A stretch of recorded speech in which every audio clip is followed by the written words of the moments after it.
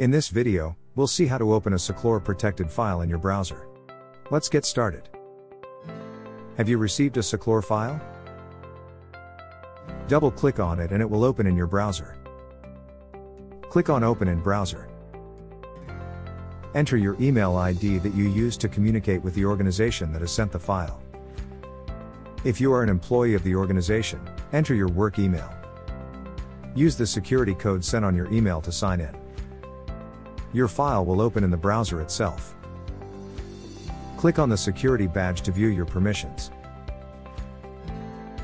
Make any edits you need to. The changes will be saved automatically. You will receive an edited copy of the file on your email. Similarly, you can open classified files in your browser.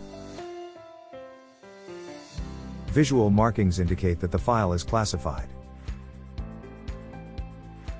For more help, write to support at seclore.com.